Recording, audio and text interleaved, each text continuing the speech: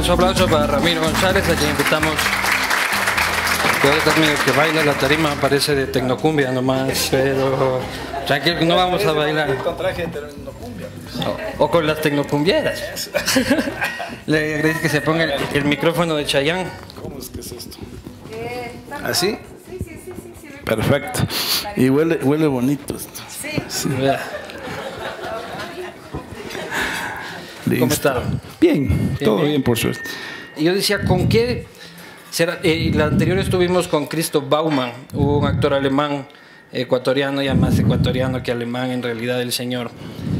Pero con él eh, nos tomamos una cerveza para iniciar, porque alemán, cliché, hay que tomarse una biela antes. Y dije, con el economista González habrá que llevar canta claro, ¿no? Pues... oh. Pero O sea, te pingas. Es, pero yo dije luego... También, ¿no es cierto? Muy borracho, y eso creo que incentiva el estereotipo de los lojanos, ¿no? Y le digo por conocimiento de causa, porque yo llevo sangre lojana y a veces cuando me conviene eh, suelo decir que, que es lojano, pero dos lojanos aquí tomando cantaclaro era medio peligroso. Claro. ¿Y eh, por qué será que los lojanos tienen ese estereotipo de copa brava? no? Porque no, en todo el Ecuador se toma igualito. ¿Sí? Sino que en, Loja también cantamos, le ponemos de algo a Laja, entonces ahí sí nos vamos de largo. Ese también es otro estereotipo. ¿Usted canta? No, en Loja hay dos tipos de personas, las que cantan y las que toman. Y yo no canto. Ah, ya, perfecto. Entonces, Salud. Carolina. Sí, porque es típico, los lojanos tienen que cantar, tienen que tienen, tienen, tienen que hacer algún tipo, algún tipo de, de- eh, actividad artística. ¿Y usted eh, de joven le hacía la copa como buen lojano? Claro. Yo, yo salí muy temprano de Loja. Yo de Celica, pues yo soy de Celica. Y yo salí a estudiar el colegio en Cuenca. Por eso aquí en Quito dicen que soy chagra salido poco a poco. Primero a Cuenca, después a Quito. O sea, primero de Celica, Loja, de No, Loja. no, a, a Cuenca directamente. Ah, no pasamos por No, Loja. no. Lo que pasa es que yo tengo una familia muy larga. Entonces, Como todo buen lojano. Claro, nueve hermanos. Entonces mi papá nos iba colocando en Loja un poco, en Cuenca otro poco y en Quito otro poco, donde teníamos familiares. Conquistando el país. Y yo, así, yo, yo ya no llegué Como los mitimaes, Claro. así. Yo no llegué a un, a un familiar, sino a un internado. Se usaba mucho en ese tiempo eso. Claro, En Cuenca. En Cuenca, ¿Y cómo se con llamaba? los salesianos. ¿Cómo se llamaba? Colegio Agronómico Salesiano. Porque Celica, yo conozco Celica. Me fui para el castigo para decir yo conozco. Mentira, yo pasé por ahí un recorrido por la provincia. Es, es lejos, ¿no? Claro. Bueno, ahora ya no es. ¿Cómo que no? Claro, cuando, cuando yo estudiaba, cuando yo estudiaba en Cuenca, Si Loja es lejísimo. Nosotros salíamos a las 10 de la noche en turismo oriental y llegábamos a las 6 de la mañana. De ahí esperaba hasta las 9 para coger la cooperativa que me llevaba a Celica y llegaba a las 4 y media. Ahora haces de Cuenca a Celica 5 horas, yendo despacio. Cinco horas ese de Celica Loja, creo. No, ¿qué Depende te por, pasa? por Dos y va- si es media. baja por Zapotillo, Macará. ese es No, no, no, no, no te has ido vos a dar una vuelta, acá es directos. Antes de Macará, en el empalme coges a la derecha y estás en Celica en cuarto de hora.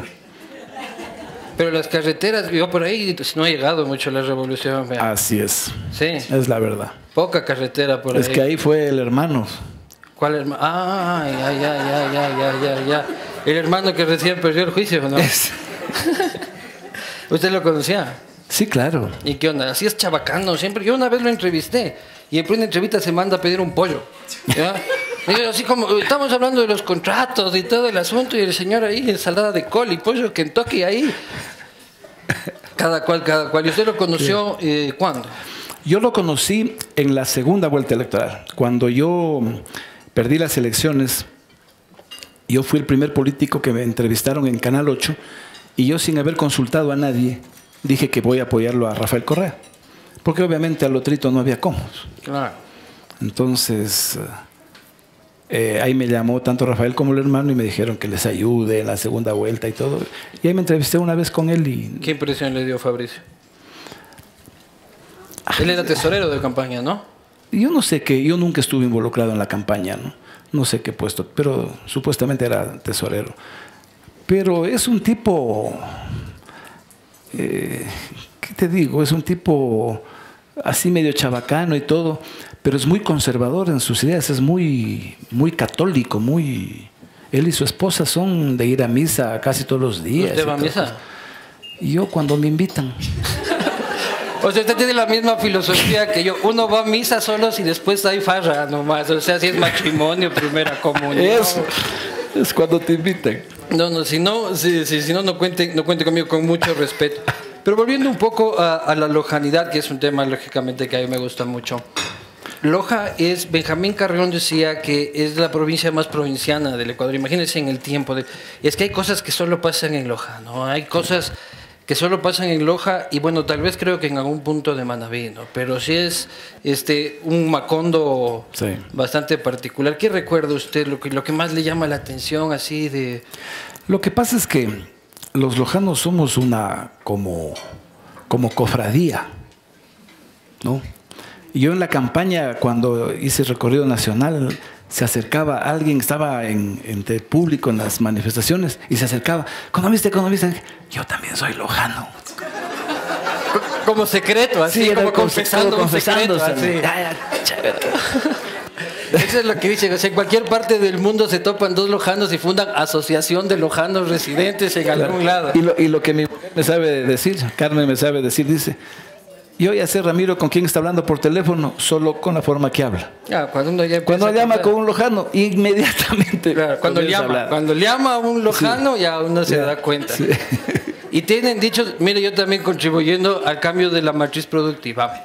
Este, me vine con los zapatos Venus. Claro, Vea. esos son los propios, 3.50 cuestan. Claro, Y están usados para que no vean que viene comprándose ahorita nomás para hacerse el pilas. 3.50 cuestan. Claro. No me acuerdo, me compré en el Tena, en la tierra del... 15 millones de zapatos hace la fábrica de Ambato.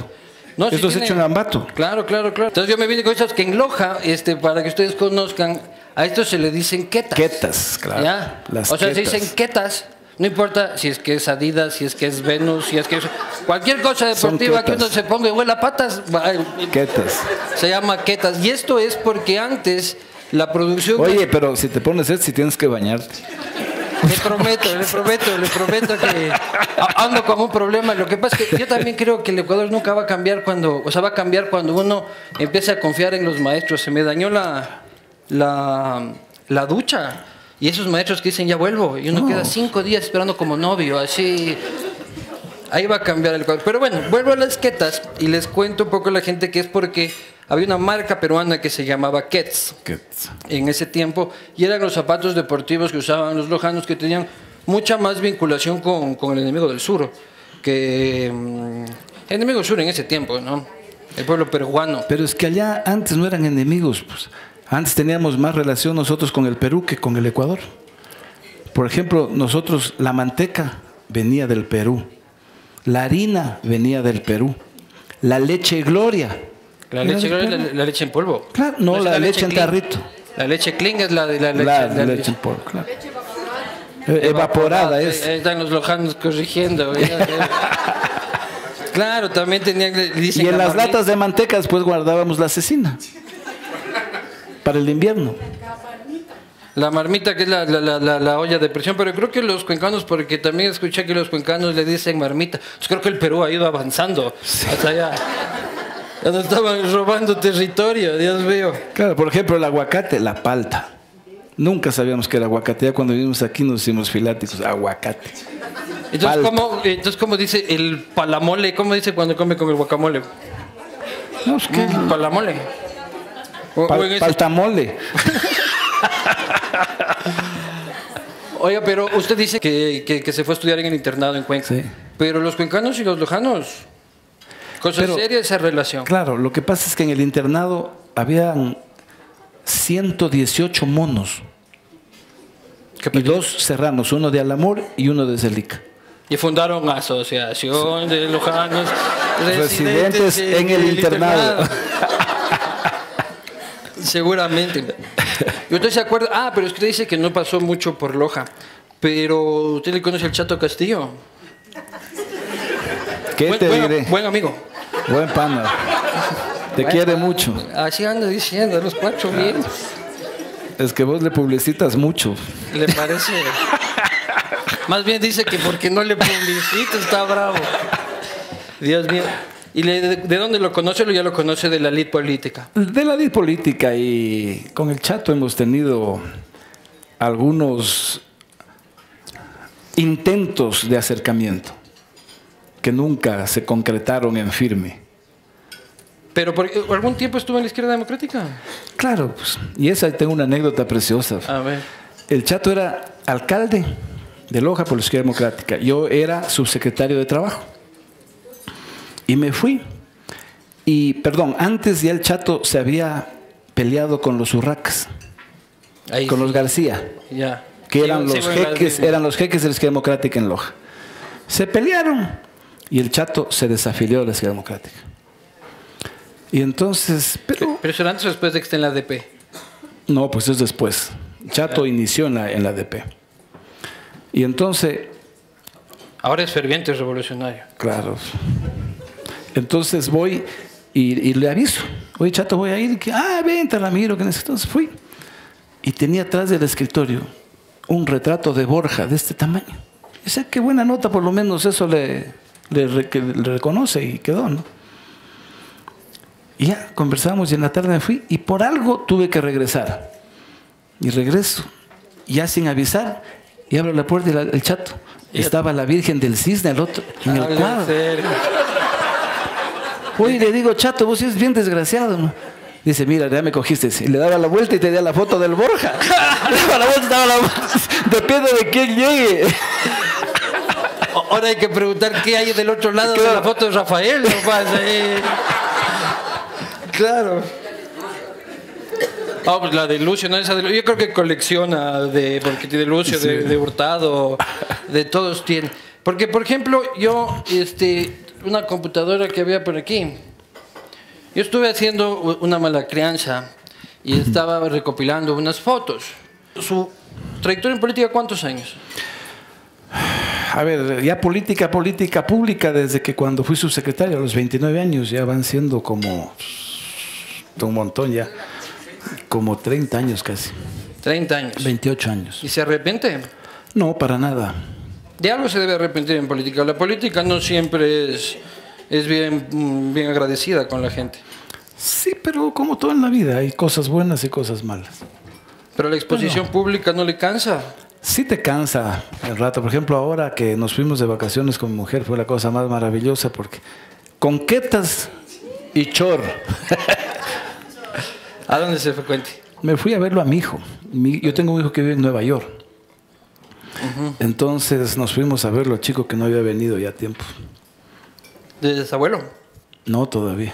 Vea usted. ¿Qué le iba a decir? Este, volviendo a esto de, de la gente de la izquierda democrática, o sea, el prefecto Baroja también era de la izquierda democrática. ¿Usted le fue dejando el puesto? Porque sí, sí, fue como a dedo, así, vos eres, porque el Ricaute andaba, andaba armando el relajo en ese tiempo, de que no, que hay que hacer y usted dijo, no, ese se queda, y ese se quedó. Y, y- y le invitamos aquí al castigo divino, pero me dijo que no, porque le digo que hemos tenido un poco, eh, bastante dificultad. Es que con Gustavo nos conocimos desde cuando él estuvo en la campaña. Desde Colombia, de-. No, yo no lo conocí en Colombia. No, es que dice que es colombiano, ¿no? como Maduro, el mismo pueblo. Como Maduro. No, yo lo que decía Gustavo cuando dejaron las armas, cuando hicieron la paz con, con Alfaro, cuando entregaron las, las armas a Alfaro, entonces ellos fueron un grupo de jóvenes, yo, yo era subsecretario de, de César Verduga en ese tiempo, y entonces cuando se hizo la paz, ellos entregaron las armas. Entonces, este grupo de muchachos me los recomendaron a mí para que yo los inserte laboralmente. Entonces, Para que los. Gustavo y toda esta gente. Entonces, con ellos, desde ahí comenzamos. ¿Y usted qué hizo con las armas Pero ellos antes, ellos antes estuvieron en la campaña de Rodrigo, de Rodrigo Paz. A la presidencial de Rodrigo Paz. Claro, claro. Después ya lo recogí yo en la prefectura. Recogidito es, no diga. No diga que es recogidito. Lo, lo intenté invitar, o sea, ya es cuando llegan a funcionarios es difícil llegar a la gente, ¿no? Entonces tienes que primero pasar un mar de comunicadores y relacionadores públicos. Creo que nunca le llegó ni el mensaje, en realidad, pero aquí lo estamos esperando. Aquí lo estamos, como estamos esperando a otros, a, a otro gente del gobierno, pero no sé por qué no quieren venir. No sé. ¿Qué, será? ¿Qué será? no. será? No, pero aquí todos somos amigos. Este, a ver, vamos a estas fotos. Mire, hablando de que el chato este, tenía la foto de la Virgen, ¿qué estaba haciendo usted aquí? ¿Robándose la Virgen del Quinche? No, pues, ahí el padre, no, pues que yo tenía ahí una, Perdónenme, pero esto vamos a pasarle al ministro del Interior y al Papa Bergoglio cuando, cuando venga. es que yo tenía una palanca hermosa y pues, el padre conde, que era lojano, pues. Entonces él me hizo poner, esa, esa foto fue cuando iba a ser candidato a prefecto. Entonces me hizo poner la, la propaganda, un calendarito debajo del pie de la Virgen del, del Quinche. Usted le estaba entregando propaganda a la Virgen. Claro. Pero si Voto es voto, hermano. Voto es voto.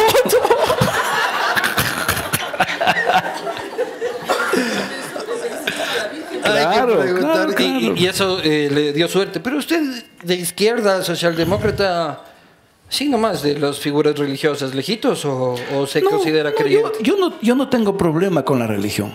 Yo soy muy respetuoso de los credos. Mi, mi mujer sabe reír porque cuando nos vamos de viaje, yo igual me meto en una mezquita, hago exactamente lo que hacen los otros.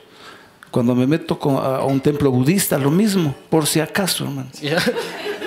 Por si acaso. ya una cantina también. Lo No, hay que ser tolerante, hay que ser. Con el tema de la religión hay que ser tolerante y uno tiene que saber respetar el credo de cada uno y se acaba el tema. ¿Pero qué opina Y del Trump? nunca discutir de religión con nadie, porque siempre sales bronqueado. Nunca. Sí, y de política también. Pero ya de política ya no, ya no. Ya no discuto, ya gané. Imagínate, imagínate entre nueve hermanos. Chuta, hay unos que son del un lado, del otro lado, Tiene eh, hermanos Contreras, Claro. Pero buena relación y todo. Ah, conmigo espectacular. Tenemos una relación, gracias a Dios tenemos una familia grandota y que nos llevamos súper bien. Yo- mire, mire esa juventud, vea. Esa juventud. Chuta, todavía Rodrigo. Borges es el esposo de Paco Moncayo, ¿no es Sí, cierto? claro, la y el la Paco, Rafita. pero vea, agarradito del brazo del Paco. Y ahora el Claro. Paco del otro bando. ¿Se cambia de vereda si se lo topa el Paco Moncayo? No, estuve reunido con Paco hace tres semanas. Estuvimos almorzando con Paco. Y Rafael Nos sabe llevamos eso. bien, Rafael sabe eso. pero por supuesto. ¿Cómo le va a explicar? ve, si una vez incluso Rafael me dijo que en una cadena me dijo que por qué me llevaba con los Pozos, con cuál- el Mauricio y el Fernando. Y el Mauricio me pareció un buen economista. Y el, y el, el Fernando también, compañeros míos, buenos economistas. Ya, pero esos son de la época de... la- ah, bueno, bueno, de la época de Lucio. Claro, pero Con, Lucio sí se cambió de vereda. no, un día, Ah, lo- porque tengo un día en radio, en Radio Democracia, Tengo un foto. día lo- lo- en Radio Democracia lo saludé y le dije, ¿cómo está presidente? Uno, lo, lo cortés no quita lo valiente.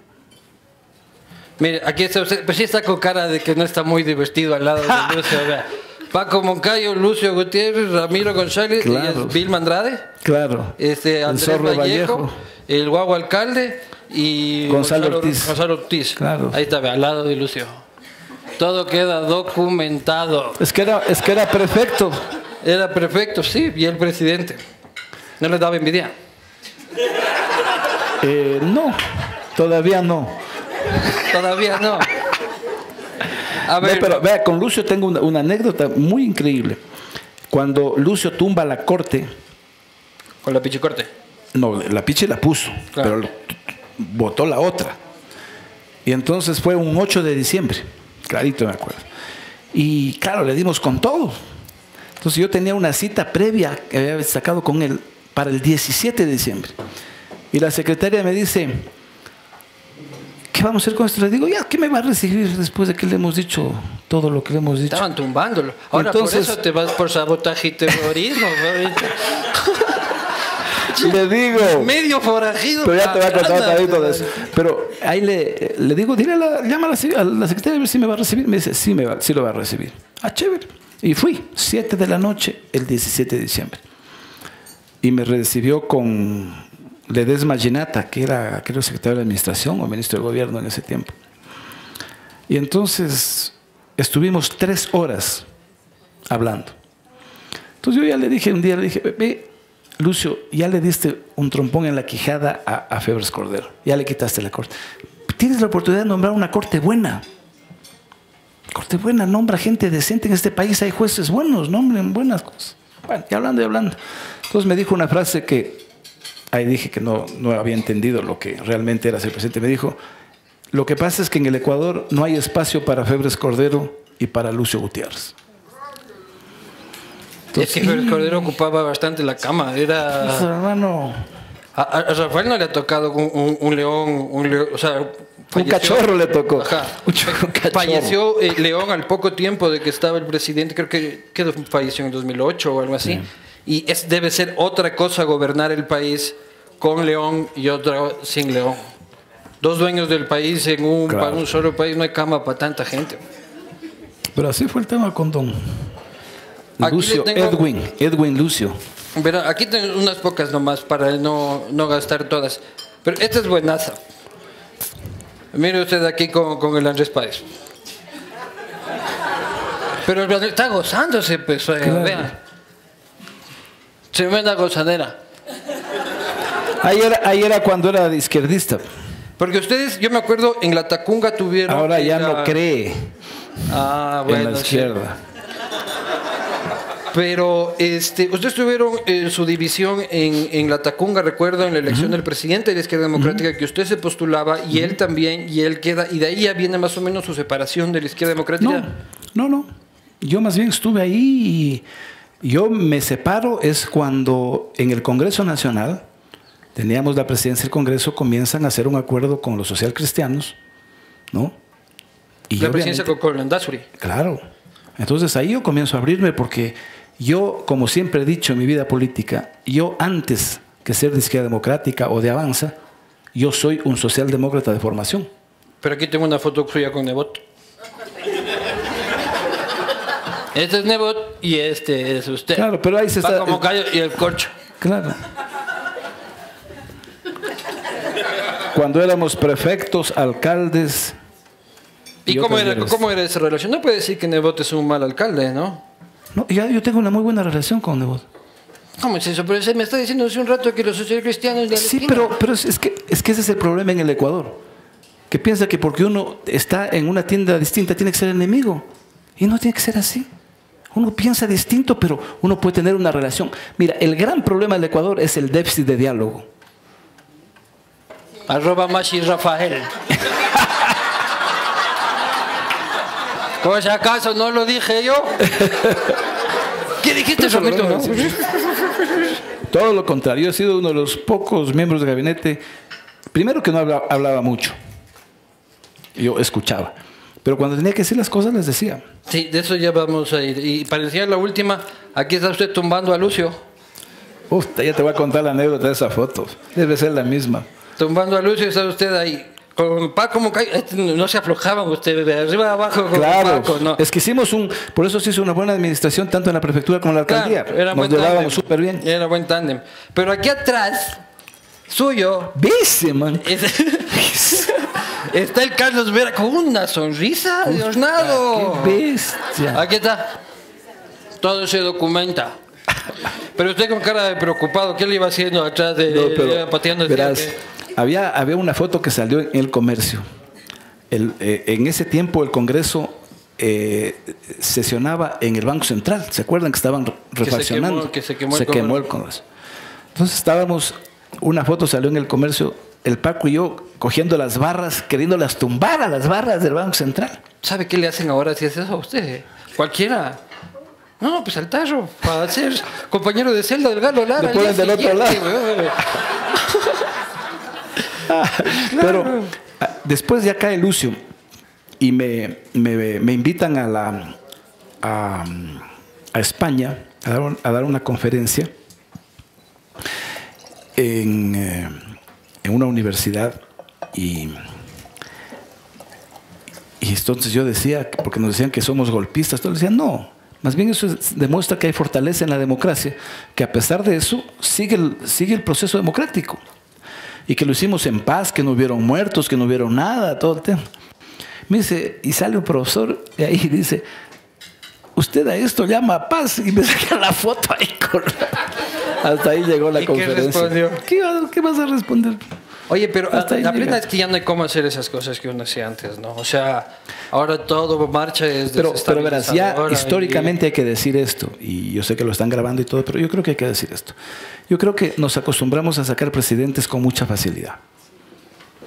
Y, y Ahora los- son y se los acorralaba, se los acorralaba a los presidentes, y yo creo que a Lucio se lo acorraló. Los socialcristianos con la izquierda democrática en ese tiempo lo acorralaron y lo pusieron en una esquina.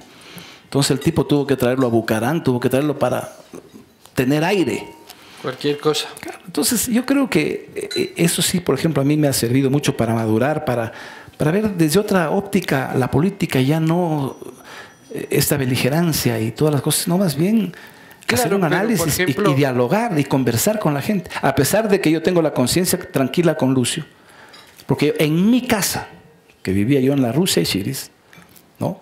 estuvieron, nos reunimos al- al menos unas cuatro veces queriendo ayudarlo. Diciéndole, mire, en lo que podamos ayudar, encantados de la vida para hacerlo. Y no entendía. No entendió nada.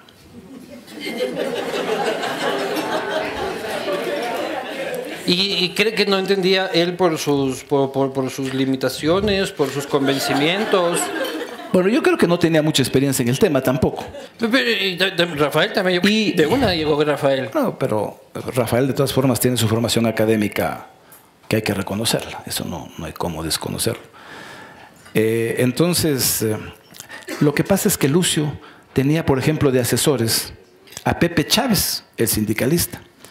Lo tenía al exalcalde de Quito, al doctor Barrera, de asesor.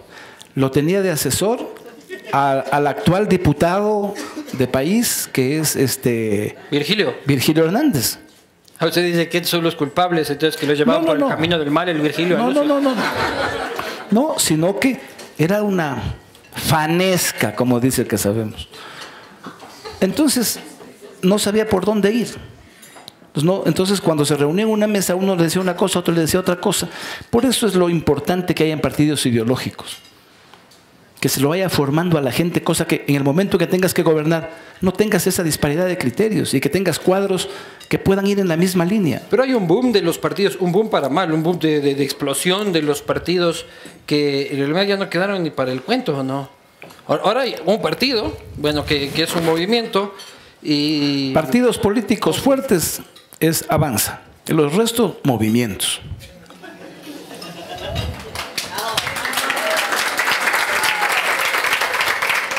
La verdad sea dicha. ¿Sí? ¿Le parece de que país es un movimiento... Es movimiento. Sí, sí, es movimiento, pero ¿le parece que su estructura es endeble? Ideológica, partidistamente... A ver, cuando los partidos se hacen demasiado grandes, convergen un montón de cosas. Ustedes ven el Parlamento, yo creo que al menos hay tres grandes grupos dentro del país. ¿Está el asesor de Lucio? Eh, hay gente de centro izquierda, hay gente de izquierda radical, pero hay gente de derecha también. ¿Quién clasifica usted como ejemplo de derecha? Casinelli, por ejemplo. ¿No es cierto? Es una, una persona que siempre ha estado. dice, yo no digo nada. Ahí, verás, yo, a mí me mandaron el otro día, es que hubiera sido bueno haberlo traído, cuando el presidente Correa me dijo que, que Avanza era una colcha de retazos. Sí, yo dije aquí, dije, por suerte no traje colcha de retazos porque si no me de pegar. No. Pero... No, pero, pero yo me dieron una listita.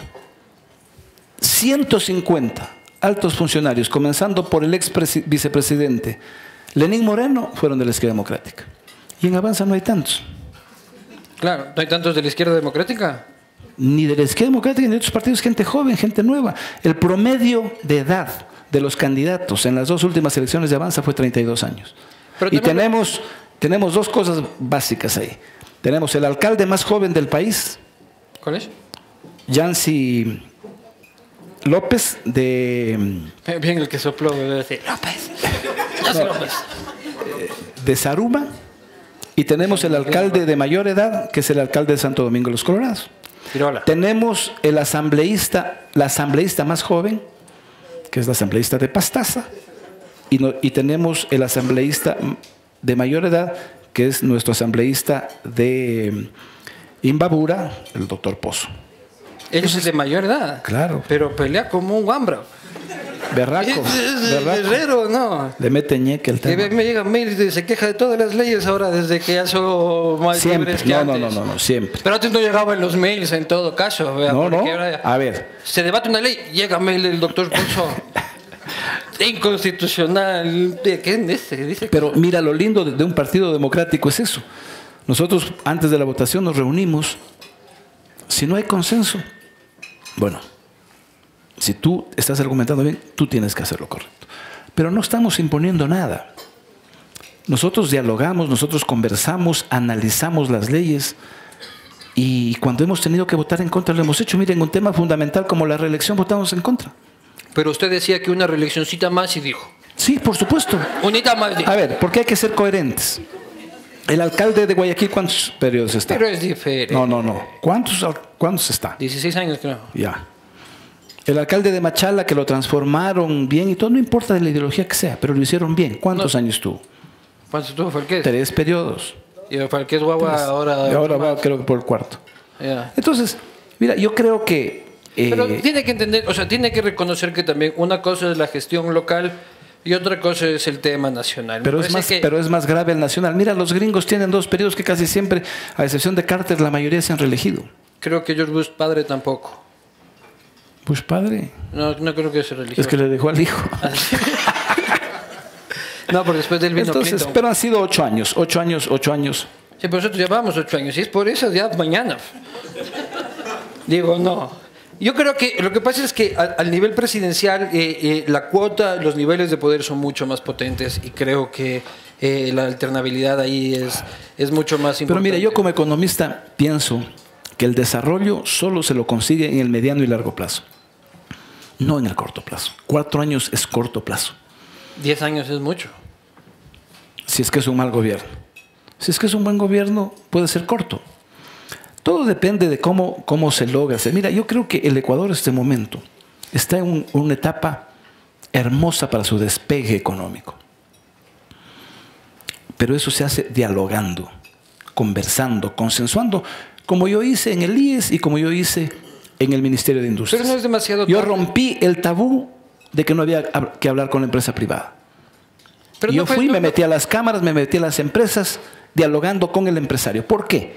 Hice una cosa que, por ejemplo, al presidente Correa no le gustó y un día, aquí está Carmen, testigo, que estuvimos en un cumpleaños de un gran amigo nuestro, y me reclamó y me dijo, Ramiro, ¿por qué has dicho que ya el modelo de crecimiento basado en el gasto público se agotó? Le digo, porque así es. ¿O no estás de acuerdo? Sí, dice, pero no deberías publicarlo. Pero la, la verdad sea dicha. Pero no Entonces, fue demasiado ya, o sea, fue demasiado tarde cuando se quiso incorporar al sector privado después de una política Pero- keynesiana de ocho años. Pero todo, todo es, eh, todo es la gestión que se haga. Mira, yo cuando el presidente me dijo hay que hacer la transformación de la matriz productiva, yo dije la única forma de hacer la transformación productiva es con el sector privado. Si no, ¿con quién más imposible? ¿Con quién más vas a hacer? ¿Pero qué es eso de la matriz productiva? Saben y uno sabe qué es de la matriz productiva, pero esa cosa no se lo traga, pero nadie. O sea, qué difícil llegar a la gente. Vamos a cambiar la matriz productiva. Usted terminó hablando más de cocinas que Gino Molinari, pues en un momento. Que también es revolucionario, ¿no? Que es concejal. ¿no? De- concejal de Guayaquil. Guayaquil. No, pero mira, lo que pasa es que hay temas tabús en el Ecuador. Hay dos temas que son terribles. El uno, como, como economista, perdón, primero dos fáciles, entrar a la dolarización y poner subsidios. Eso es aplausos, eso es venias, eso es votos.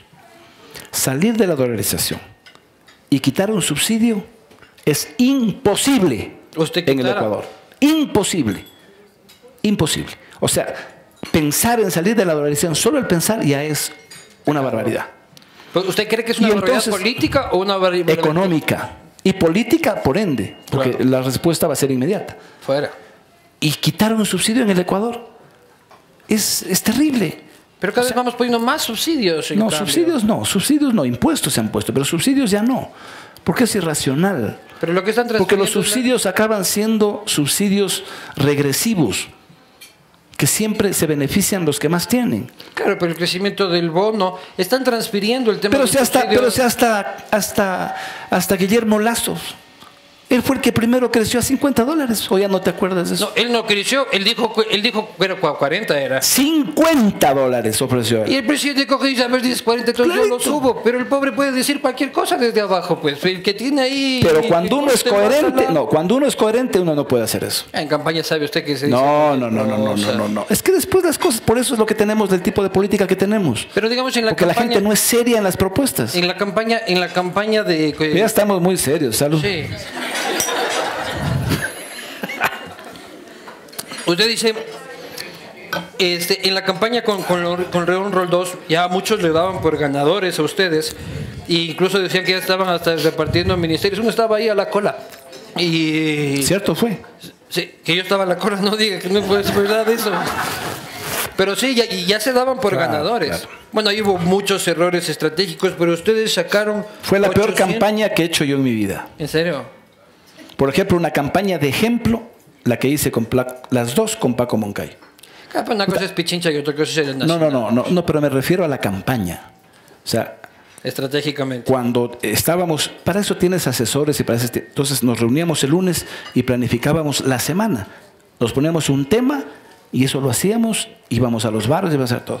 Pero reloj, 8 de la mañana, 8 ahí. ¿Hasta dónde? Es hasta que con un general al lado también. No, pero sí. Pero, ¡Soy mi Paco! ¡Vamos! Pero, pero además Paco un tipo serio. No, sí, tipo serio. totalmente. Tipo serio. Usted sacó ahí 809 mil votos. ¿Cuánto? 809 mil 754 votos, quedando en cuarto lugar. Corríjame si me equivoco. Claro. Álvaro Novoa sacó 1.464.251 Votos. votos. Urnas haya dicho. Sí, pero... ah, ah, ¿Qué tal nos hubiese ido con, con, Novoa? No, mínimo no nos iba mal.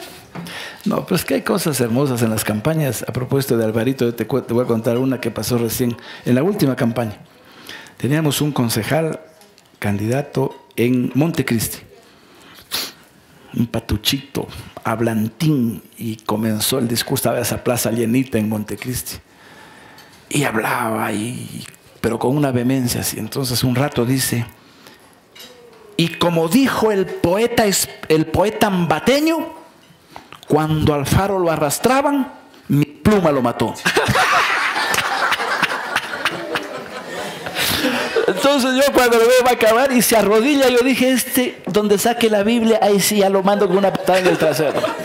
No sacó, por cierto. Y ganó. ¿Qué va a ganar?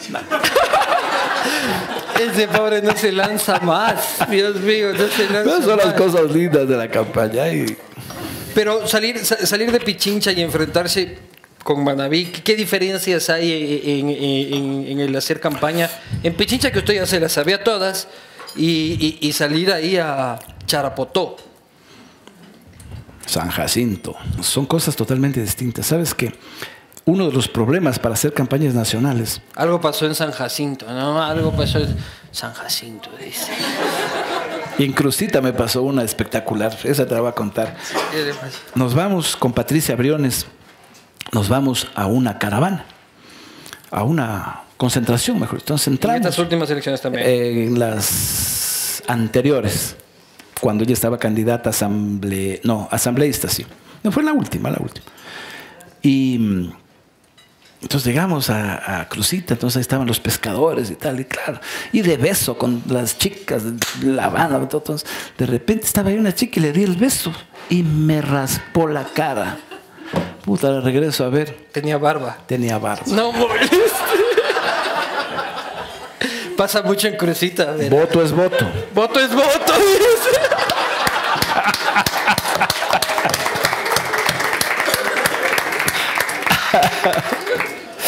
Pero que eh, en esos días no se duerme, no, por casa no se pasa. No. Yo me acuerdo que incluso en la última campaña, pues, por eso fue que ahora nos fuimos de vacaciones con Carmen, porque los 25 años de matrimonio nos cogió en un hotelito en Ambato. Porque Carmen en eso es solidaria en campaña con el maridito ahí. Esta última. Todas, todas, todas siempre ha estado conmigo. En el Hotel Ambato llega usted. No, no, no. ¿No? En el, en Hotel el Hotel Boutique Ana María. de Avanza, de Hotel Boutique Ana María. Hotel que es porque la dueña es del partido. Ah, claro, ahí le dan descuento. Tenemos palancas. Claro, nos dan ahí le descuento. dan descuento. Nos prestan los salones y todo. Oiga, pero eh, ahora, ¿cómo, ¿cómo es su relación con sus alcaldes? Porque los alcaldes de Avanza, no suyos, sino de Avanza, este, es medio peliagudo, porque antes de que, de que haya este distanciamiento, esta ruptura, como quisiéramos llamarlo, este divorcio, este, ándate, no te quiero volver a ver, llévate tu colcha de retazos. Este, pero mucho antes de eso, igual desde la campaña, los alcaldes locales no podían verse a los de país. O sea, yo me- en Ibarra es cosa seria. Entre el En todo el país, en todo el país. Entonces, Mira, entonces, las era una alianza pegada con babitas. pero Es que, es que, verás, es que a veces por eso hay alguna prensa que no entiende eso, hermano. Yo lo que he dicho es que nosotros nunca hemos tenido un acuerdo con país. pero a mí- sacaron lo de, lo de Unidos. No, no, no, no. Espera, espérate un ratito. Cuando mi relación con Correa nace un día en el colegio de mis hijos, que también eran, tenía los hijos Rafael ahí, en la condamine. Entonces un día me llamó, cuando recién se posesionó, estábamos en el colegio, me llamó y entonces me dice, oye Ramiro, ¿qué estás haciendo? Le digo, dedicado a lo mío. Bueno, chévere, hablemos más tarde. Entonces el embajador de Francia nos invitó a una recepción ahí y se para y me dice, oye Ramiro, ¿por qué no me aceptas la embajada en Bélgica? En Le digo, Bélgica tiene ¿y, alguna cosa. ¿y qué hacen los embajadores? En Bélgica, toman biela. ¿Qué más se va a hacer en Bélgica? Yo no, yo no, yo no sabía qué hacen los embajadores porque nunca he sido momia coctelera. Era que le pregunte al chato que fue embajador de, de- de Lucio. Entonces, pero ahí viene una anécdota. Entonces, le dije que me deja pensar y tal. Entonces, obviamente los chicos estaban todavía en el colegio y tal. Era imposible. Pero en esos días, el embajador ruso me invitó a su casa y le cuento. Uy, dice, la embajada en Bruselas es la mejor embajada. En el Kremlin todos pelear por estar en Bruselas.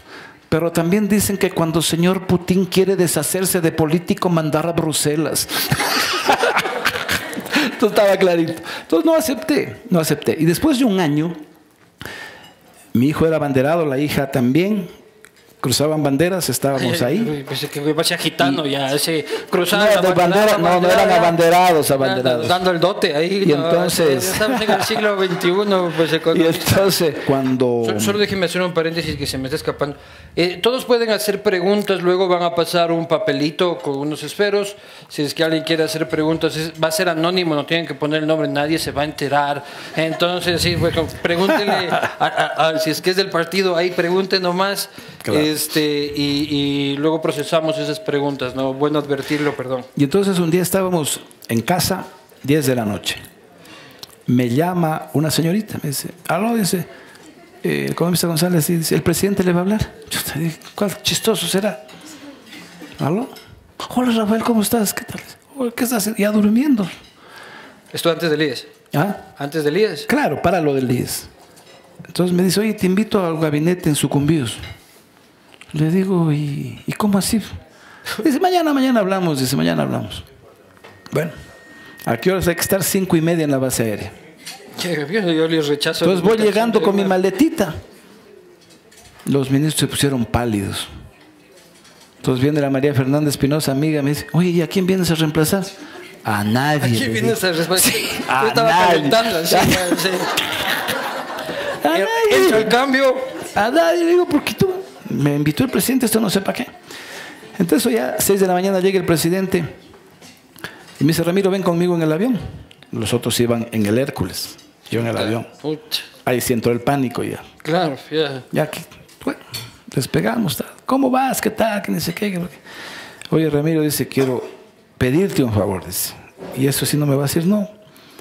Dice, realmente llevo año y medio en el IES, llevo tres directores y no hay forma de hacer nada ahí. ¿Quién estuvo Sandoval?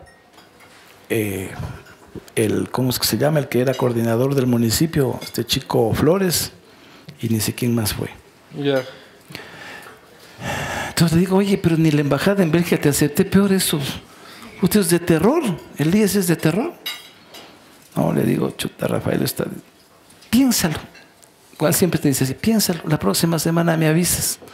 Le digo, sí, tengo que hablar con Carmen, porque Carmen es la que manda. Siempre pasa lo mismo. Entonces, bajamos, vamos al hotel, en Lago Agrio. Llegamos al hotel y ya el gabinete se puso en eso, yo me puse en la esquinita. Entonces viene la rueda de prensa y dice el presidente, dice, les presento al nuevo presidente del IES, el economista Ramiro González. y ahora, todo, todo el mundo aplaudió en ese que. Entonces, después la prensa me preguntó, y claro, ¿cómo le iba a desmentir el presidente? Ya no había cómo. Así fue mi relación, no fue ni con Avanza, no fue ni con eso, no, una relación estrictamente personal con el presidente. Por eso yo siempre he dicho, con Avanza nada, porque mira ahora, ahora cuando voy a las provincias, Ramiro, por fin, que necesita, porque la bronca en las provincias, brutal, lo que tú dices en Ibarra y en... Y, y- y- La Tacunga también es complicada. Latacunga, Ambato, Azuay, En Quevedo. en, en, en Manabí, En Quevedo. Lo que pasa es que en Quevedo eh, el, el vicepre- el viceprefecto es... eh, vicealcalde. vicealcalde, de- perdón, es Alvarito, digo, de los Alvarado Junior. Claro, no es el primero. Ah, es Él el es el primero. claro, es el Humberto, hijo, el Humberto Junior. Ya, pero el primero había corrido por Avanza y no había, digo, por país y no había, no, no, no le habían dado chance. Claro, por eso se puso en un ganador. Claro. Pero Ahí ¿cómo, llegó. cómo es su, re- su- su relación con los Alvarado? Bien, era, hasta ahora no sé cómo usted, pero era bien. Y, y en los gabinetes, en los gabinetes ahí siempre hay parranda, ¿no? Y siempre sacan ahí las imágenes. Yo le tengo mucho respeto al presidente por una cosa, porque tienen el viernes la noche cultural, ¿no? Y a las 6 de la mañana está montando bici. Claro. Yo con esas noches culturales no me levanto ni a las 12 de la mañana. Por eso yo no me quedaba esas noches culturales. No. Era muy fea. O sea, ¿Por qué no feas? ¿Por qué? Primero, después de una reunión de 10 horas, las reuniones de gabinete comenzaban a las 10 de la mañana, hasta las 8 de la noche. Nos tenían ahí este, como ganado en, en estabulación. Comías, dormías, te despertabas, seguías comiendo, reías, hablabas. 10 horas. Entonces de ahí todavía salir a, a la saludada y ¿Les todo. ¿Le parece que los gabinetes iti- itinerantes es un desper- despilfarro de dinero y A ver, pudiera economizarse más. es buenas fases? Pudiera. Pero, pero yo creo que sí es bueno ese contacto con la gente. Yo creo que sí es bueno que el presidente, los ministros tengan contacto. A veces se desplaza demasiada gente. Eso sí hay que controlarlo. Pero yo creo que sí es bueno que, que el- al presidente lo conozcan, estén... No, si lo conoce todo el mundo, usted tranquilo. Hasta sueñan con el caballero. Oiga, pero usted ahí en los gabinetes que todos bailan, ¿y con quién bailaba y con quién se echaba un Yo, ¿A quién le aceptaba? verás, verás ¿cómo, era, cómo era el ritual. Ah, era Estábamos ritual. claros. Siempre pasa lo mismo. Estamos ahí, los ministros, las tres primeras filas, presidente, vicepresidente, el alcalde, los diputados, de la, los asambleístas de la provincia. Entonces, lo primero era un grupito musical por ahí y tal. Y entonces salía el alcalde, dar la bienvenida al señor presidente, le entregaba las llaves de la ciudad y el presidente se adueñaba del micrófono y daba su discurso. Y entonces nos Se presentaba... adueñaba del micrófono. Es que, es que, pero si tú lo ves, es que Rafael tiene verdadera Una pasión por el micrófono. por- una- si tú lo ves, por ejemplo, él en la sabatina, él no, no puede tenerlo al micrófono en un pedestal. Él lo tiene en la mano. micrófono. Y cuando da siempre un discurso, lo tiene en la mano. Él no puede dar un discurso si no lo tiene en la mano al micrófono. Es- así son trabajo cosas. TC Televisión o algo así. ¿no? Así, el reemplazo de Marco Vinicio Bedoya. ¿Sí se acuerdan de Marco Vinicio? Ese crimen sigue impune. Entonces, entonces estaba y te, Comisión de la verdad y te presentaba y te presentaba a cada uno de los ministros. Entonces, una vez que presentaba a los ministros, el presidente bajaba y había una danza y tal. Y entonces, hasta ahí, y yo me iba a qué? A, reunirme con la gente de Avanza. Vele, haciéndole usted ahí la traición de lado. No, traición, ¿por qué? Él pagándole el pasaje, dándole la comida y usted ahí haciendo... O era la gente de Avanza, sí, me voy con la gente de Avanza y de de ahí sus cuates ahí en la También, Guardia, también. A usted le tocó hacer, este, bueno, hablábamos esto de la matriz productiva, también políticamente debe haber sido una carga bien pesada el tema de, de salvaguardias, ¿no? Porque, Sí. porque tiene un costo político. Incluso leí por ahí alguna vez de que usted había restringido la importación de artículos sexuales. Oye, eso fue una maravilla. Eso fue una maravilla. Me llama mi hijo Sebastián Y me manda, papi, mira cómo haces esto. Yo digo, ¿qué he hecho? Yo que ¿Qué has acabo de comprar, Yo que acabo de comprar. dice, me acabo de mandar por Amazon ahí. ¿No? Bueno, entonces entro y ya veo que era el mercioco. Entonces yo me cuajé de la risa. O sea, dije, qué buena papa, ¿no? Pero en eso que estaba leyendo, ingresa Carlos Arcos, un intelectual, escritor, un tipo de primera, Carlos Arcos, ¿no? ¿Cómo es posible que mi amigo Ramiro González haya caído tan bajo que. Entonces hasta que los propia gente de, de este mercioco le dijeron, oye pana, esto es una broma. Chuta, dice, disculpe, me dice, yo no leí, yo pensaba que era el comercio. Pero fue, porque fue una de, la primera o la segunda cosa que sacó el, el mercioco. Pero fue una cosa espectacular, yo cuajándome la risa. No se puso bravo, no dijo, Vea. denúncieme, persigan y encarcélenme. Vea, yo, yo quiero decir algo aquí en esta mesa. A mí la prensa me ha dicho de todo, cosas buenas, cosas malas. Yo nunca, nunca he mandado una carta quejándome, nunca he mandado una carta de rectificación. Además, yo fui el único ministro que no dejé de ir a ninguna radio, a ningún periódico, a todas las emisoras, televisoras y periódicos que me invitaron, yo siempre fui. Y eso, Pero nunca le ha dado por... no. Porque, tendré- porque tendría que hacerla mi iPad así. Ah, bueno, porque ahora yo ya solo ahí leo. Ya no, no lee usted en papel. No, ya yo a las 5 de la mañana estoy despierto. Hasta las 6 he leído los cuatro principales periódicos del país. ¿Cuáles son?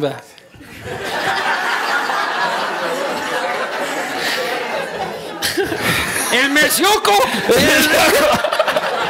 La República. No, no, no. Yo leo, en honor a la verdad, leo El Comercio, El Universo, El Expreso y La Hora. Esos son los que leo. ¿Y el telégrafo? Sí, es el ejemplo. Es que el telégrafo ya sabía lo que le iban a decir, pues. Ah, vea, que ya sabía lo que iba- Ya les mandaba hecha la noticia. dice. Entonces nunca sido- Entonces, eso ha sido, yo, yo siempre he sido un demócrata a tiempo completo. Yo pienso que los medios cumplen su rol. Y como humanos que son, aunque creen que son divinos, Castigo divino se llama, no, ya, no ya es, ves, eh, también se les va la de caminar, también se les va. lo- no, los periódicos están Entonces, por humanos. hay que, hay que, hay que ser. Yo he, he- he aprendido, por ejemplo, yo me acuerdo que un- cuando recién comenzaba en la política, ¿no? mis hijos estaban chiquitos, porque realmente, te digo yo, la vida de mis hijos eh, se ha, ha pasado básicamente con 19 años de política. Mi mayor hijo tiene 26 años, Sebastián tiene 22 años.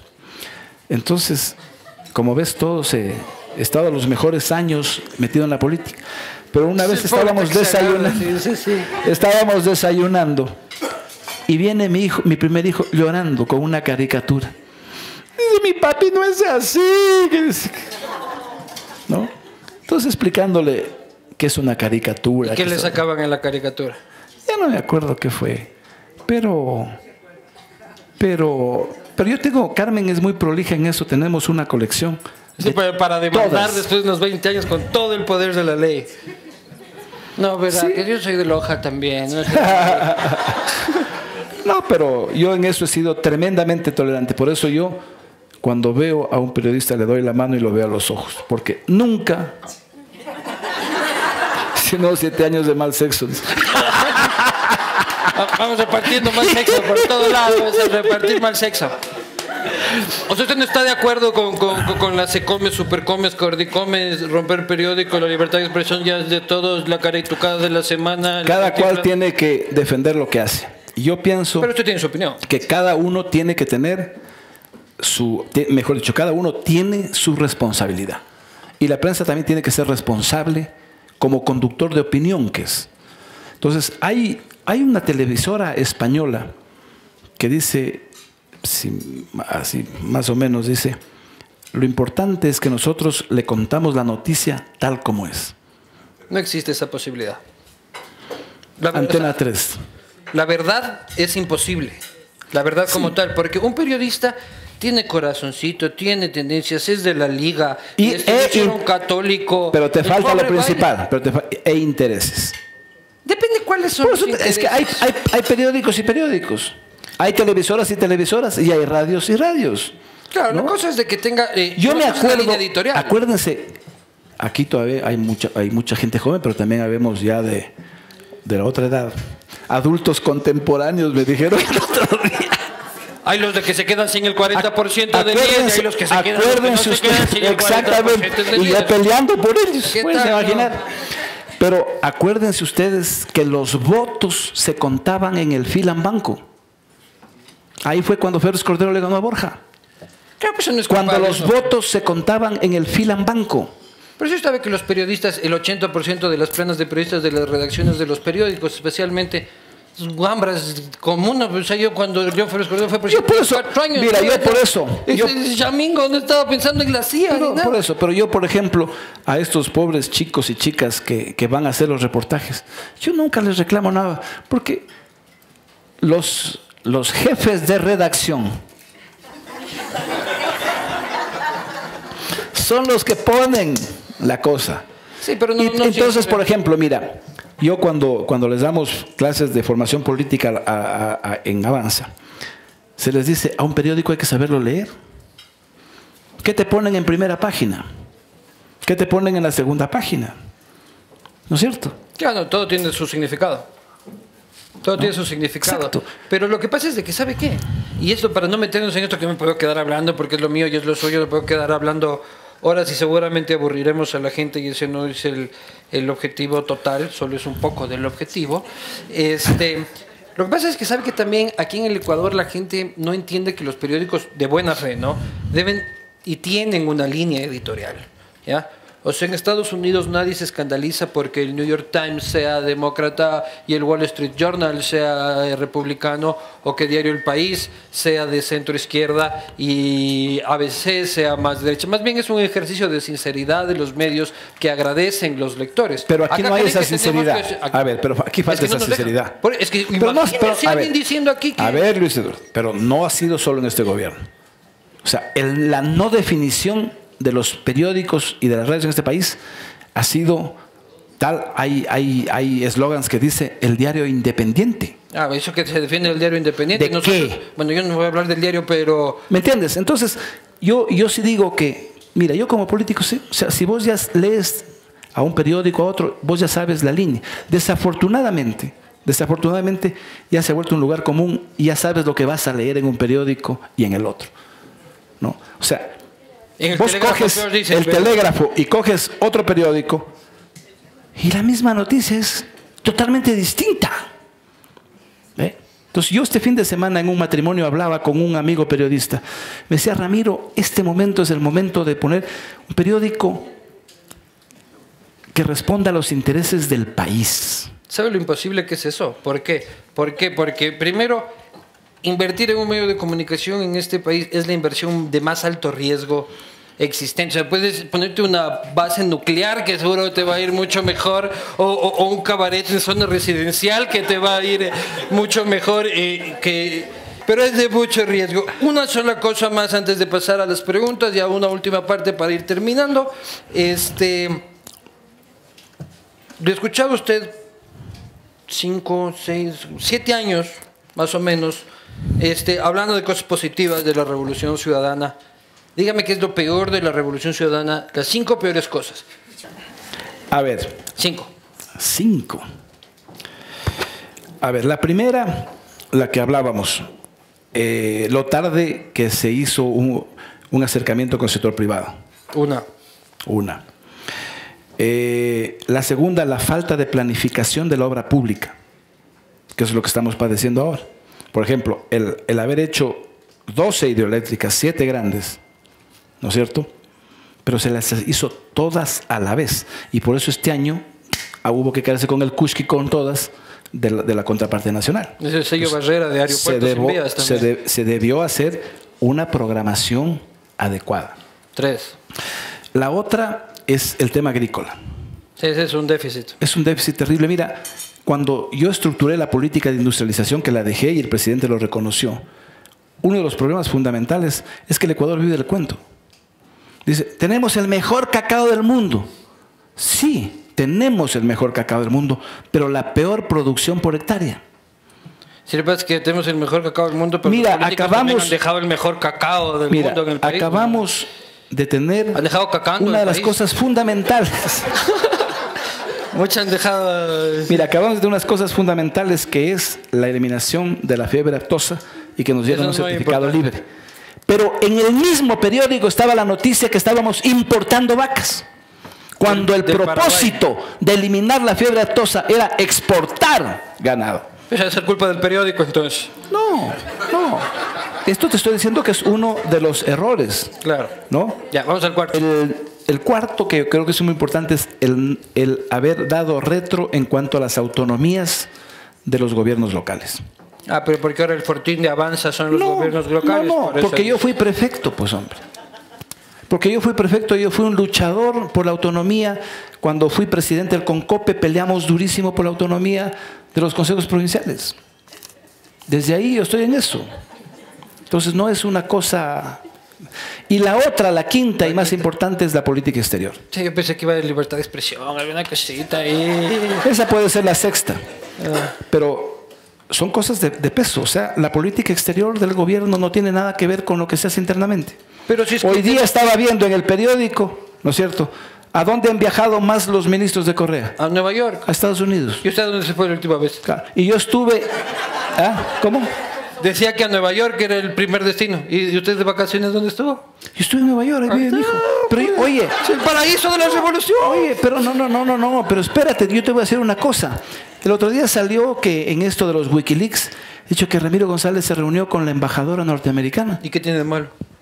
Eso quiero decirte. Pero también no han puesto que me reuní con el embajador de Cuba, con el embajador de Rusia, con el embajador de China, con el embajador de Francia, con el embajador de Uruguay, de Paraguay, de Argentina, con todos. Pero ¿Por qué no puedo con reunirme con un embajador donde se albergan dos millones de ecuatorianos? No, es lógico, no es absurdo. Para mí me parece absurdo. Pero tenemos buenas relaciones con, con Lukashenko, importante, de Bielorrusia, este, grandes este, con la República de los Cocos. Este, Pero verás, pero, verás, Angola, pero, Angola firmamos pero que con presidente- Lukashenko, verás, pero con Lukashenko yo creo que hay que tomarlo, verás. Mira, Belarus es un país especial. Es una dictadura terrible. Es una dictadura terrible y todo lo que, pero es un país de clase media. Es, eh, es un, un país estructurado porque cuando los nazis entraron, lo fueron acabando y a lo que se retiraron dejaron solo una casa. Y los soviéticos entraron también con toda fuerza. Entonces, realmente, eh, créeme que yo lo conocí, ese país es un país, independientemente de Lukashenko? Es un país al cual hay que ver su forma de, de vida. Pero conoció a Lukashenko. Lo conocí, claro, ¿Y qué estuve en su oficina, estuve en su palacio nuevo. Pero debe dar miedo. Ese señor, ese sí me cambio yo de Hay que lavarse la mano después nomás para que no se pegue. Ay, qué bestia, no, pero bueno, vamos a ir a las preguntas que son, que son varias y, y luego hay una última cosa. Entonces, le voy a pedir, eh, yo sé que siempre pedirle esto a los políticos es la peor pregunta que siempre hacemos los periodistas, es como, eh, respuestas muy pequeñas, ¿no? Muy pequeñas, no, nunca, todo se va. Se nos fue el tiempo y solo tiene un minuto para contestar. No, no pregunte. Pero es el pueblo el que está Pero aquí no preguntando. tiene aquí. televisión, Es el no pueblo el que está preguntando. ¿Descansando hoy para la presidencial de mañana? Trabajando hoy para estructurar el mejor partido político del país. Pero quiere ser presidente, ¿no es cierto? A ver, pero todos los políticos, pues. O sea, el político que no aspira a la presidencia, ¿para qué se metió? Sí, ¿no? Si ustedes... O sea. ¿Para qué se hace un partido político? Para captar el poder político. El que diga que no está mintiendo. Totalmente. Pero eso no quiere decir que yo quiera ser presidente en este periodo. Quién sabe, hay otro candidato que pueda tener mejores actitudes que yo y yo lo apoyaré sin ningún problema. Usted dijo que Rafael unita más. Una más. Y no jodemos más, dijo usted. Pero, pero mira, yo, yo, yo creo que es Rafael el que tiene que decidir sus cosas. Y decir, a ver si está bien o mal. Mira, ha habido gente en el gabinete mismo que le ha dicho presidente, no es bueno que se relija. ¿Usted cree todavía que se merece cuatro años más? Eh, Ya no lo veo tan seguro como la otra vez en la tele que yo le vi furibundo Mira. una vez más. Mira, yo creo, yo creo que hay proyectos importantes, porque tú me has preguntado las cosas malas, pero también hay que decir las buenas. No, ya hemos hablado Por ejemplo, por ejemplo, la reforma educativa, yo creo que a Rafael, antes que por la obra pública, se lo, se lo reconocerá por la labor en la educación. Fue el único que le paró a un partido que al país lo arrodilló durante 30 años haciendo un lastre de educación. ¿O no? Eso hay que reconocerlo. Eso hay que reconocerlo. Sí. Y eso se lo verá, desafortunadamente, las reformas en educación no se las ve en el mediano, en el corto plazo, sino en el mediano y largo plazo. Entonces, esas son las cosas. Diga una cosa más buena para que haga el. Usted dice que solo hemos hablado del otro, entonces vamos a balancear la Es pendejada. que, es que si me dices que ponga cinco ya están mucho. Ah, uy, uy, uy, uy, uy. Él solito verá. Él solito, cuando estás afuera en el bus de voy a usted no, no, no, eso, eso es chiste, pero, pero hay, hay, hay muchas cosas, hay muchas cosas buenas. Por ejemplo, la reestructuración de la deuda fue una cosa que hay que reconocer.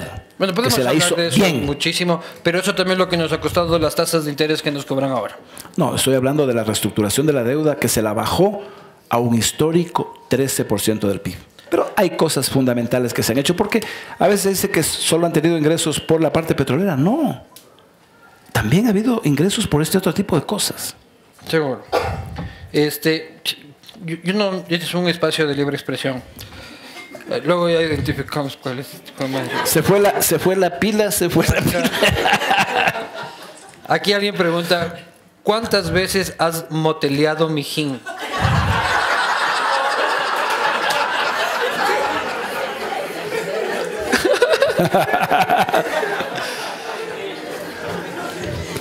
Verás, yo he vivido cada etapa de mi vida intensamente. ¿Por quién llora más el corazoncito? ¿Por Rafico o por Borja? Por ninguno de los dos lloro yo. Se dice que Avanza nació con dinero del IES. ¿Cómo fue? Pero si cuando tuvimos mejores resultados fue cuando tuvimos chiros en, en el ministerio. ¿Usted alguna vez ha pedido cita por el call center? Claro. No, pero no diciendo, soy el director del IES, voy a pedir una cita. Va y le dan, en 30 minutos le están sirviendo. Verás, hoy día la vicealcaldesa de Cayambe nos mandaba en el chat de Avanza una linda cosa, una, un- una, no es oración, es una reflexión, ¿no?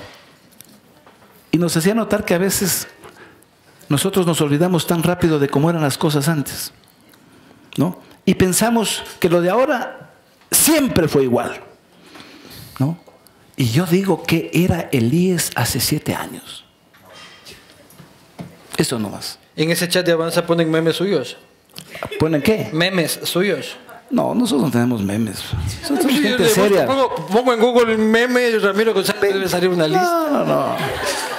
¿Cree Mira. que, perdón, Sí, sí, sí. demás. ¿cree que en la próxima huelga nacional se acorrale el señor presidente? ¿O servirá para medir fuerzas entre los partidarios del gobierno y los opositores? La suerte que tiene Correa es que no tiene oposición. Hasta que nació Mancha. No, porque nosotros somos un partido no contreras, nosotros somos un partido... Mira, yo estaba hablando hace un momento aquí con unos amigos de las ciencias políticas.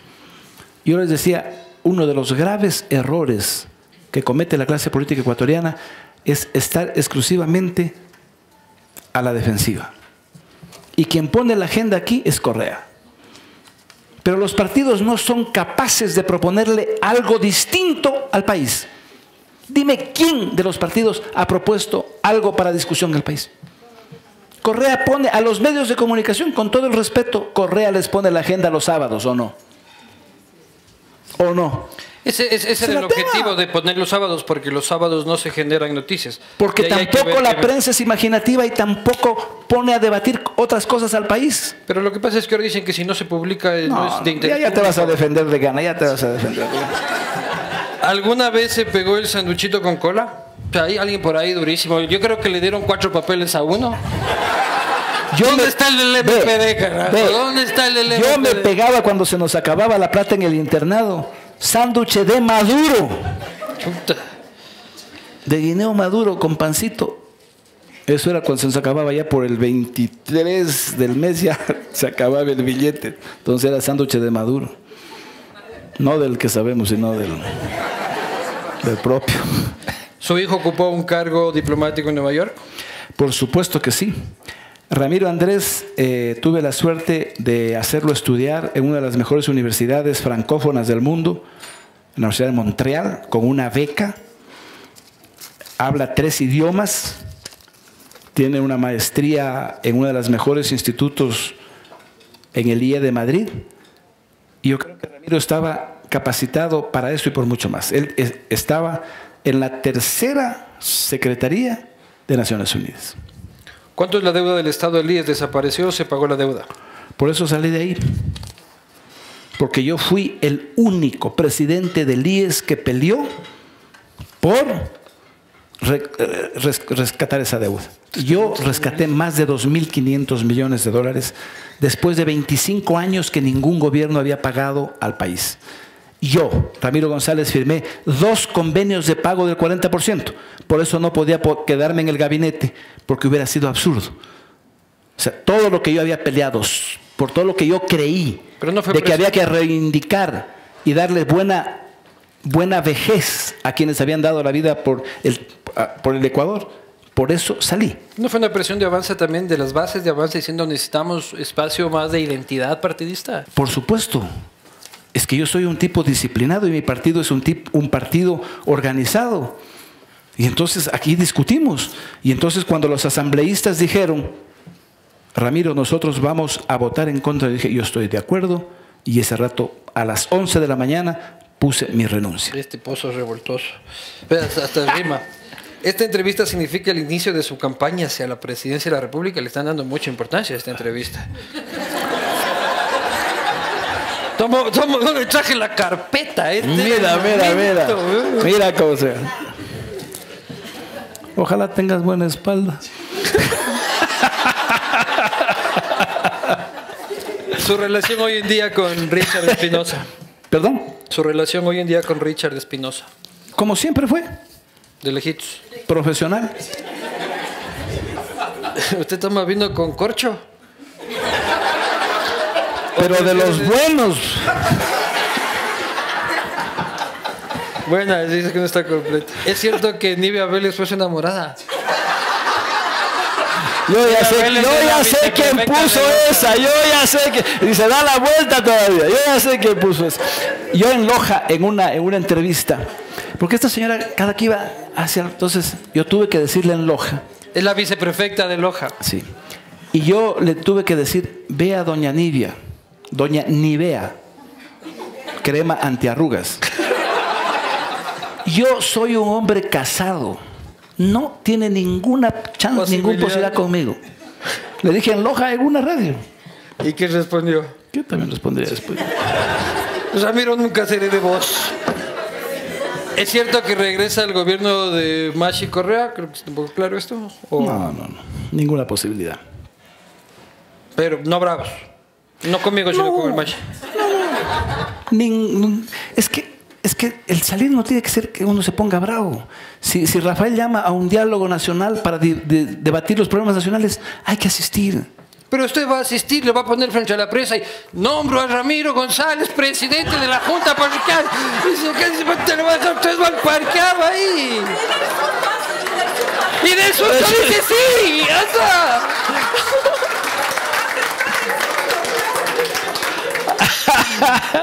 Tendrá cuidado, esas invitaciones han sido peligrosísimas. Ahora que estuvo por el MIPRO y como le decía que usted estuvo este, conocedor profundo de las cocinas, como yo más que Gino Molinari y Mariaca. ¿Qué será de Mariaca? No lo he vuelto a ver en la vida. Este, yo traje mi cocina de inducción. Miren esa, esa- calidad. Esa es, esa es, esa es la mejor. Eso es calidad. Entonces- Esa si le pones así, no te pasa nada en la mano, te traspasa. Entonces, usted se va a freír unos huevitos. A ver si es que aprendió a utilizar la cocina de inducción. Si no, ¿qué mensaje le va a dar a la pacha? ¿Cómo vamos a nosotros utilizar si es que usted... Pero, ve- ¡Jue madre! pero verás bien que no se te vaya la luz al conectar eso.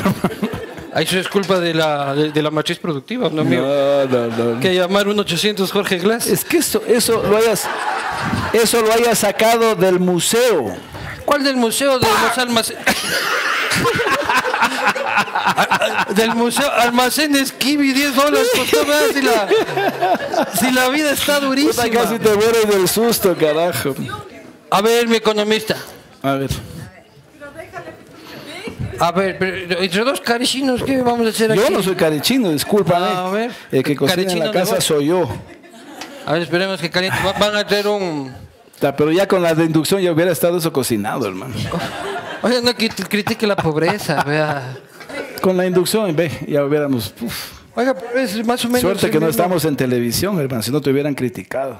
No, pues, usted, yo no tengo nada que ver con la inducción. Yo todavía cocino a leña. Como bueno, con la marmita. Yo, yo he sido de los de la generación que cocinábamos con leña. Después pasamos al querosén, al querex, al gas y ele- no eléctrica. El reverbero era de gasolina y de bomba.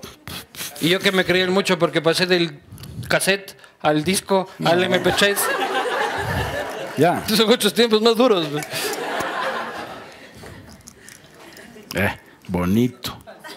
Eh. Chuta, si está así más o menos. la- No, no, no, sí está que- prendido. No hay cómo poner la mano está que no que- inducción. Está que hierve. Eh. Eh, mira, qué maravilla. eh. ¿Ve? No, Ahí está. es Kiki Pérez, tilacho. venga a recoger los huevos. Estilacho. ¿Revueltos? Ah, bueno, muchas gracias. Ramiro González con todos ustedes.